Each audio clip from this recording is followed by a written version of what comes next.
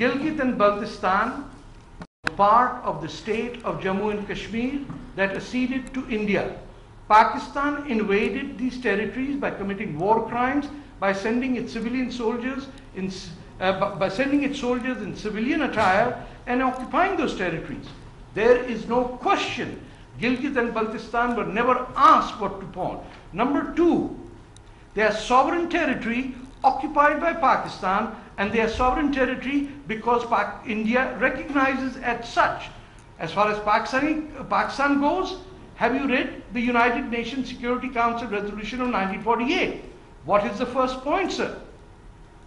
What does the first point say? That's what I'm telling you. You I'm asking a question, sir. If you don't have- one second, a one part second. of the- Part of the No, just a second. If you don't have the answer, If sir, you, if you, if you, if you are going to, if you, uh, as a commentator, you have to be uh, impartial. no, no, I'm not impartial. I'm not impartial. You- you I'm not impartial. You should, uh, you should read your body and No, no. I- my question, sir.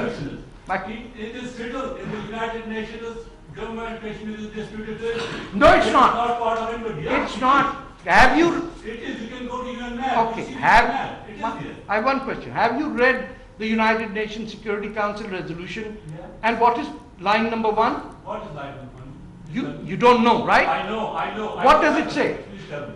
What is it? What you have read. It says that Pakistan will withdraw every soldier and civilian from the territory of the state of Jammu Kashmir that it did not occupy or were not present there on August 14, 1947.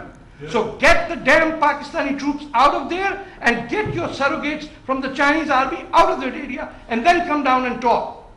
Don't spend this Pakistani propaganda over here that Jammu and Kashmir. No, sir. Why you say Pakistan is propaganda? I Because you are a terrorist government. I am also like Baranda is here. I am also here. I am fighting for my rights. How can you then be as a terrorist or a Pakistani? Anybody supporting Pakistan is a terrorist. You see, the, the UN resolutions are that both. You haven't read it, sir. Pakistan has to retry its forces. You have not read it and you do not have the courage to admit it. First begin with the UN Security Council Resolution 48. Sir, have you read it? Have you read? No.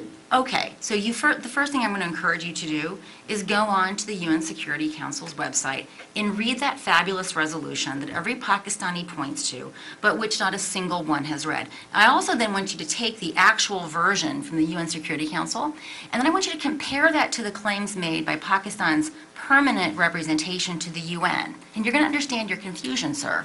So the resolution is actually very clear. There are three steps. They were sequential and they were conditional. The very first step was that Pakistan was supposed to demilitarize to the satisfaction of this UN body that was to be established. Then, conditional upon the UN being so satisfied with this demilitarization, India was also supposed to demilitarize with a presence being permitted to defend itself against Pakistani aggression.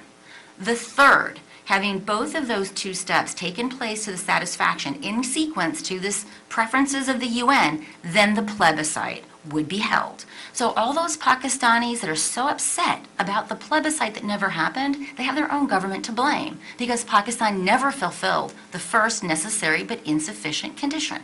So I'm going to encourage you to actually read that before you ever make such a fool of yourself again by presenting it in public, right? So just do yourself a favor by reading the darn thing.